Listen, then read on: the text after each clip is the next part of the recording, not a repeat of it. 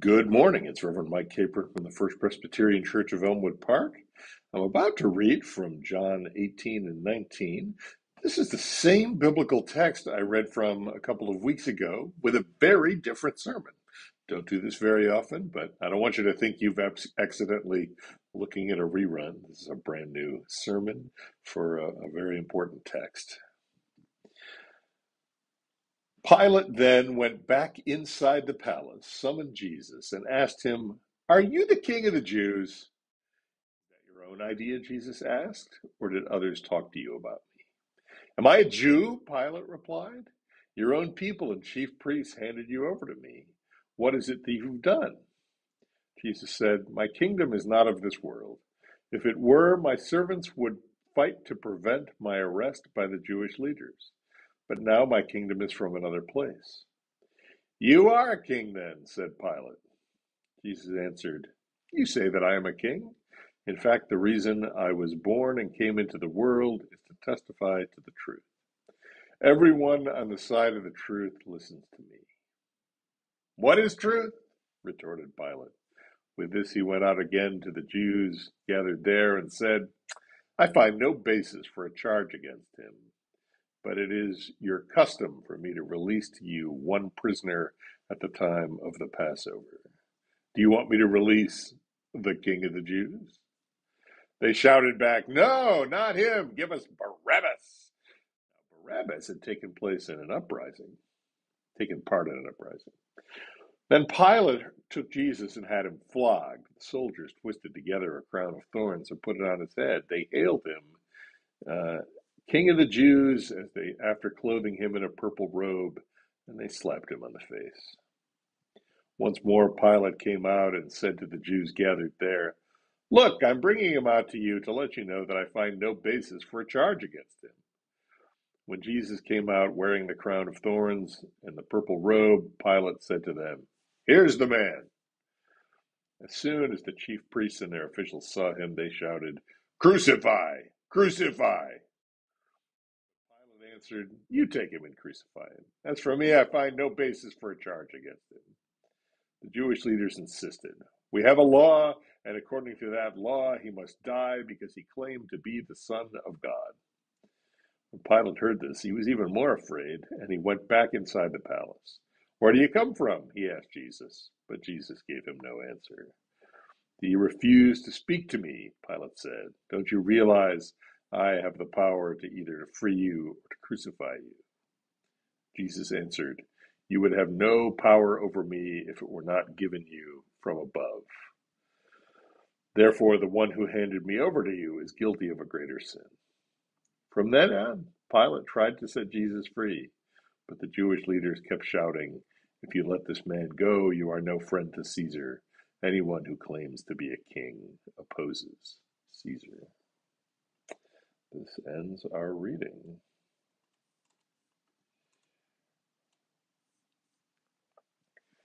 I'm going to begin the sermon with a little imagined monologue from Pontius Pilate. I feel trapped today. That's ironic, isn't it? Here I am, the Roman governor of Judea, the mighty Pontius Pilate, with supreme authority in this province. And I feel trapped. What mighty army did this, you ask? What incredible power was there in this backwater to threaten the representative of Rome? I'm embarrassed to answer. It was a peasant from Galilee, a carpenter turned preacher. I guess he's a popular figure, but I haven't I find I have a hard time keeping track of these Hebrew prophets and preachers and would be messiahs. They come and go like a, that fly you keep trying to shoo away, shoo away, and it comes back. Those officious temple priests brought him to me, Caiaphas and his lot. They wanted him to be executed, told me he claimed to be the king of the Jews. So I questioned him. He's an odd one, this Jesus. Here I am with the power of life and death over him, and he would barely speak to me. And when he did, he was impudent beyond belief. For example, when I jokingly asked him if he was king of the Jews, he wanted to know if that was my idea or not, as if I would pay some attention to some Jewish pretender. Then he said he had a kingdom, but that his kingdom was of another place. First, I thought he was claiming to be a king in exile, but then he started talking about truth, being on the side of truth, and other such drivel. So I concluded that he was a lunatic, a kind of deluded dreamer who was not worthy of death. I offered to release him. I gave the crowd a choice between Jesus, whom I proclaimed to be innocent, and this revolutionary fellow Barabbas, who was clearly guilty. And they chose Barabbas. Unbelievable. Really didn't want to kill this Jesus. I thought maybe they would be appeased if I just had him whipped. Uh, what I didn't know is that my guards would decide to have some sport with him. They made a crown of thorns and pressed it into his flesh. They put a robe on him and mocked him as the king. So when I, I sent for him to show him to the people, he came out with his robe and his mock crown. It was the strangest thing. I don't know how it's possible for somebody to look pathetic and regal at the same time, but this Jesus was. I felt sorry for him, but I also felt his presence, the force of his personality. Ironically, he really did have a kingly quality about him.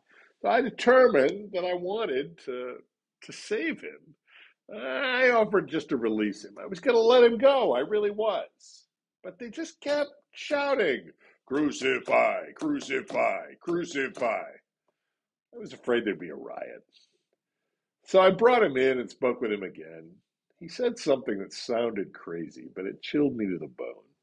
There he was, beaten with blood on his face from the thorns, and he said, You would have no power over me if it were not given to you from above. I tell you, there was a force, power about the man. I just knew that he was guilty of any evil. There was nothing guilty about him at all. I've ordered many people crucified. Some have deserved it more than others. But this man did not deserve it at all. But he was the one they shouted for me to crucify. People. Every time I looked at him, I saw all the others that I've condemned to die. I wanted to save him. I really did. But it's my job to keep the peace. My position would be jeopardized my future career endangered. The mob might have overwhelmed the guards. Who knows? I had a choice to make. I could give myself up for the sake of this Jesus, or I could give up this Jesus for the sake of number one. I felt trapped between Jesus and the crowd. That is choking with tension, pulled in two directions. I just had to resolve it. I tried and tried to maintain myself as I am, to keep all my personal ambitions and goals, and also to maintain this Jesus as he stood there in his dignity and his goodness. But there was no way to do both. I had to make a choice, and I did. Think he was the best man I ever met. But I chose to save my own life and kill him. It's funny, but I can't help but thinking he would have done just the opposite. If our positions were reversed, he would have given his life to save mine. crazy thought, right? It's crazy. The whole thing. What a crazy day. End of monologue. Today we speak of what is probably the most important great end of the church or goal of the church the exhibition of the kingdom of heaven to the world. Now, the center word in that phrase is kingdom. And the simple truth is this if you're going to be part of a kingdom, you need to serve a king. You need to choose between making Jesus your king and making the things of this world your king. Picture yourself standing in the crowd as Pilate offers you a choice between Jesus and Barabbas. In this analogy, Barabbas represents the world. So who will you choose? There stands Jesus. He is calm, but determined, confident, and serene. Next to him is Barabbas. He is full of nervous energy. He rattles his chains and curses his captors. Who will you choose for your king? Barabbas has a lot of scars. You know that he's been in many fights. He's a cagey fighter, wiry and tricky. Jesus, the Prince of Peace, is no wimp either. He has a carpenter's strong arms and hands, steady and sure. He has made things of use and beauty, but he never hurts people. Which one do you trust as the ruler of your life? Barabbas promises that if you follow him, he will make you a first rate bandit. You can raid and loot and get rich. You can trample others underfoot and push them around. Jesus promises that if you follow him, he'll stick with you through thick and thin. Following Jesus, you can get through anything. No worry, no hardship, no sorrow will ever get the better of you. Which of these do you want watching your back? Barabbas can barely contain his explosive anger, but today he's terrified of dying. In fact, really, he's he's both furious and fearful most of the time. Jesus is sometimes sad, but never afraid. Most of the time, he's happy and joyful. He laughs easily. He smiles as he invites you to join him. Which will you accept as your king? Some people think they don't have to make a choice. That's what Pilate thought. But he was wrong. Pilate thought he could serve the world but still respect Jesus. He asked about truth but didn't really care about the answer. He considered Jesus innocent but crucified him to appease the crowd anyway. He wrote King of the Jews on the sign above the cross, but did not bow down to Jesus as king.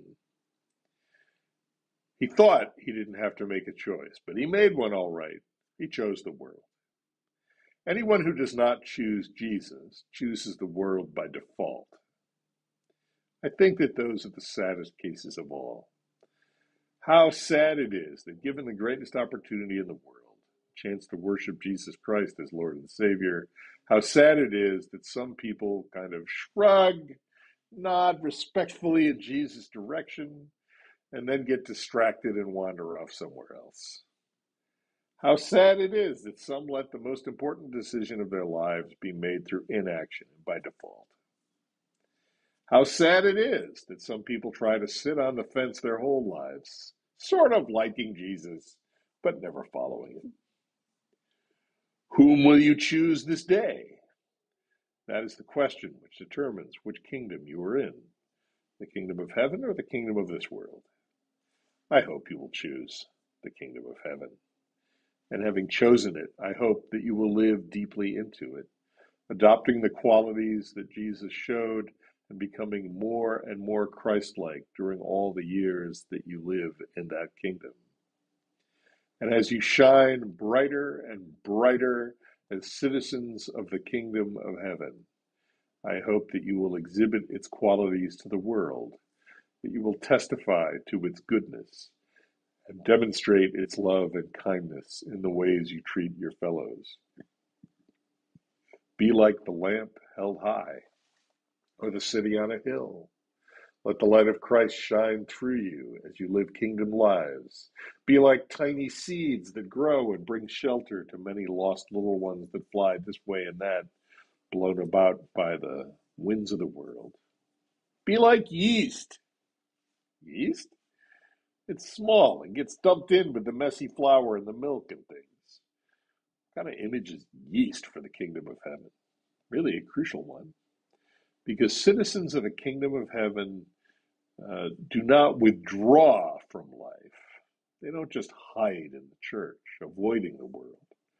Rather, they are worked into the world and they have this chemical effect making it rise, changing the world, multiplying, and bringing others into the kingdom.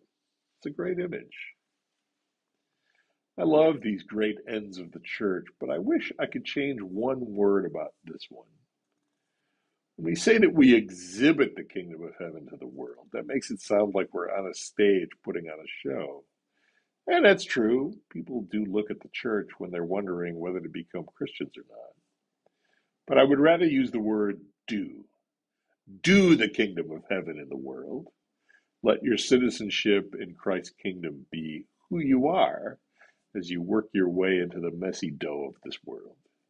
Let the ferment of the gospel so permeate your life that it affects everyone around you, raising others up and bringing them into the kingdom.